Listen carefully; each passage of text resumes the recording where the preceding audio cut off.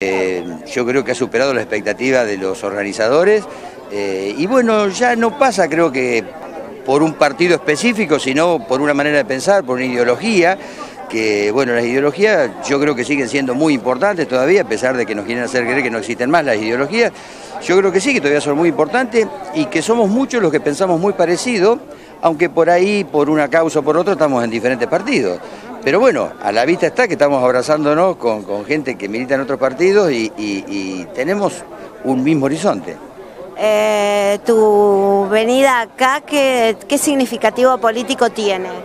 Eh, donde estoy parado, yo estoy parado en un centro, centro izquierda, estoy en las antípodas del neoliberalismo y bueno, y creo que la gente que está acá piensa de la misma manera.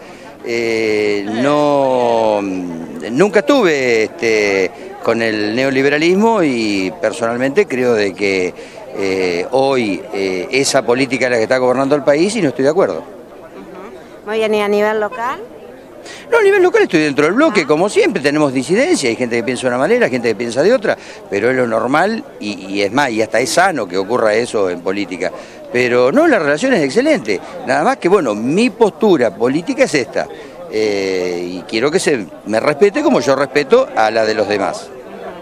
Bueno, y Gustavo también acompañando. No, yo, eh, ¿Eh? yo vengo acá a saludar a Leopoldo, que es un amigo de, otras épocas, digamos, alguien que, al que estimo, considero un gran político, un muy buen político. Considero que no estoy de acuerdo con él en que haya abandonado el partido, si bien no lo abandonó, se lo hacen abandonar, ¿no? pero que haya tomado tanta trascendencia pública eh, a través, por ejemplo, de Canal 7, del programa 6, 7 y 8, de una trascendencia pública que a mí no me gustó demasiado, porque soy radical, ante todo. Entonces a los radicales no nos gusta demasiado. No soy anti, ojo, no soy anti de nada, al contrario. Eh, y, como dijo mi hermano acá, eh, que, que, decía, tiene un concepto mío totalmente equivocado, porque me cree una persona excelente, entonces está equivocado. Este, yo soy igual que él, tenemos errores también nosotros, pero bueno, desde el punto de vista de la, de la política eh, a lo que se refería él, coincido con él, estamos de acuerdo, es decir, eh, eh, mi forma de pensar me lleva muy cerca de Leopoldo en su parte, en la, parte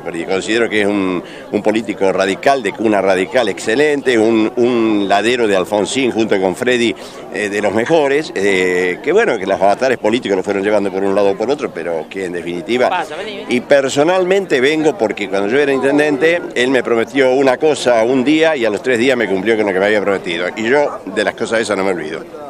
Bueno, pero eh, eh, tu figura hoy acá, ayer asumió un nuevo presidente de la comisión de la UCR y tu, hoy tu presencia acá es muy significativa. Sí, es significativa y creo que puede llegar a, no gustarle mucho a mucha gente que puede pensar equivocadamente mi presencia acá.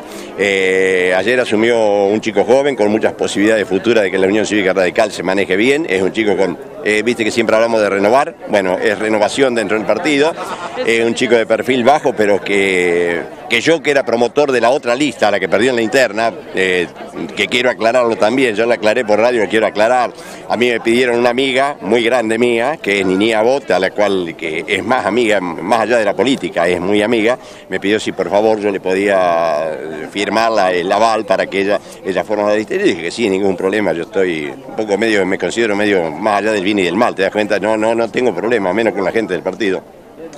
Y firmé, y eso llevó a cabo, pienso por ahí, por el manejo, porque yo nunca había visto que un, promotor de una lista apareciera en las listas en la parte de abajo, el promotor siempre ha visto las listas de los candidatos.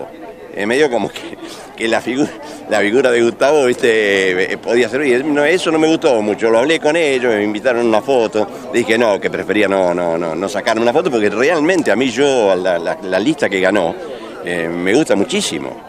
Eh, soy muy amigo de, la mayoría de ellos, sé que piensan bien, es gente muy buena, entonces eh, estoy contento. Por la renovación de la Unión Cívica Radical estoy contento. La lista que ganó, estoy contento.